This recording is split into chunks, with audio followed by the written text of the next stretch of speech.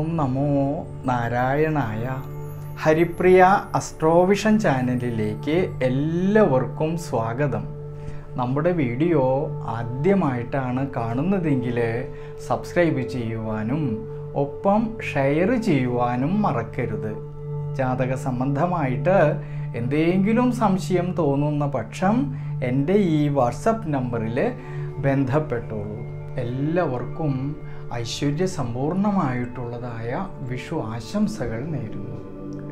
ഭൂമിയിലുള്ളതായ എല്ലാ ജീവജാലങ്ങൾക്കും ആശ്രയമായിരിക്കുന്നതായ ത്രൈലോക്യനാഥനായിരിക്കുന്ന സൂര്യഭഗവാൻ മീനം രാശിയിൽ നിന്ന് മേടം രാശിയിലേക്ക് സംക്രമിക്കുന്നതായ ദിവസമാണ് നമ്മളെല്ലാവരും ആചാരാനുഷ്ഠാനങ്ങളോട് കൂടിയിട്ട് ആഘോഷമാക്കുന്നതായിട്ടുള്ള വിഷു.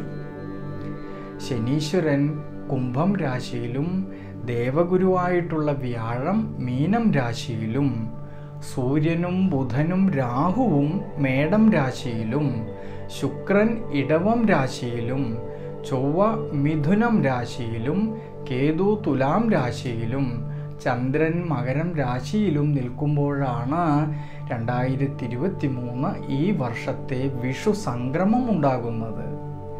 തിരുവോണം നക്ഷത്രത്തിൽ വരുന്നതായ വിഷു സംക്രമം പൊതുവേ ഈ വർഷം അനുകൂലമാണെങ്കിലും വളരെയധികം ശ്രദ്ധയോടും ആത്മവിശ്വാസത്തോടും ഈശ്വര പ്രാർത്ഥനയോടും കൂടിയിട്ട് മുന്നോട്ട് പോയാൽ ഗുണദോഷ സമ്മിശ്രമായ ഫലത്തിൽ ഗുണാനുഭവങ്ങൾക്കൊക്കെ സാധ്യത കാണുന്നുണ്ട്. ഞാനിവിടെ പറയുന്നത് രേവതി നക്ഷത്രത്തിൽ ജനിച്ചവരുടെ വിഷു സംക്രമത്തിൽ വരുന്നതായ ഒരു വർഷത്തെ ഗുണദോഷ ഫലങ്ങളെക്കുറിച്ചാണ് ദേവഗുരുവായിട്ടുള്ള വ്യാഴം ഏപ്രിൽ മാസം ഇരുപത്തിരണ്ടാം തീയതി തന്റെ ബന്ധുവായിട്ടുള്ള ചൊവ്വ ക്ഷേത്രമായിട്ടുള്ളതായ മേടം രാശിയിലേക്ക് വരുന്നതുകൊണ്ട് കുറച്ചൊക്കെ ഗുണാനുഭവങ്ങളെ കാണുന്നുണ്ട്.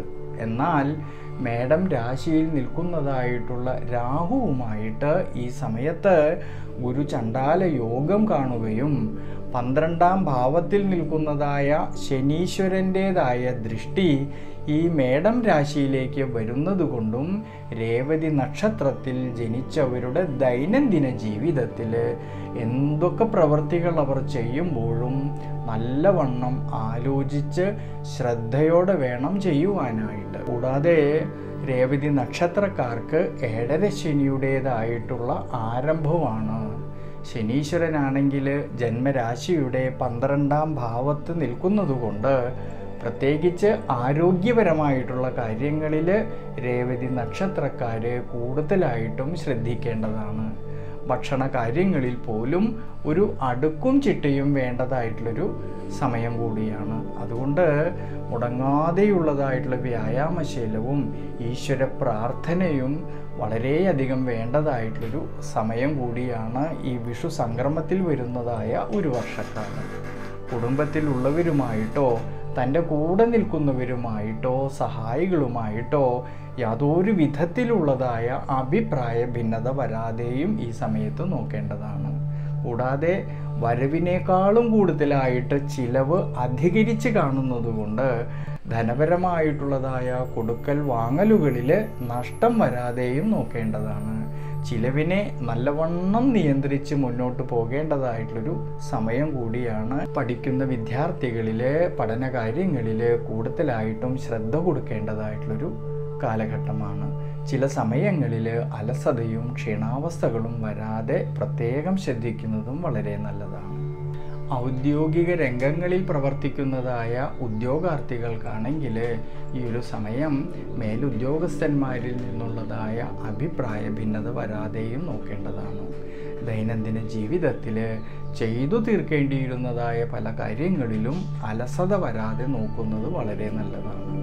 വ്യാപാര വ്യവസായ മേഖലകളിൽ പ്രവർത്തിക്കുന്നവരിലും സ്വയം തൊഴിൽ ചെയ്യുന്നവരിലും കൂടുതലായിട്ടുള്ള ശ്രദ്ധയോടെ വേണം മുന്നോട്ട് പോകുവാനായിട്ട്.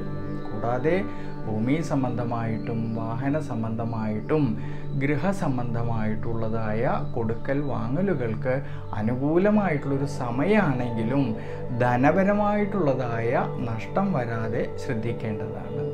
യാത്രകൾക്കും ദൂരയാത്രകൾക്കും അനുകൂലമായിട്ടുള്ളൊരു സമയമാണെങ്കിലും യാത്രകളിൽ കൃത്യമായിട്ടൊരു അവസ്ഥ സ്വീകരിക്കുന്നത് വളരെ നല്ലതാണ്. പ്രത്യേകിച്ച് അനാവശ്യമായിട്ട് വരുന്നതായ യാത്രകൾ ഈ ഒരു സമയത്ത് കഴിവതും ഒഴിവാക്കുന്നത് വളരെ നല്ലതാണ്.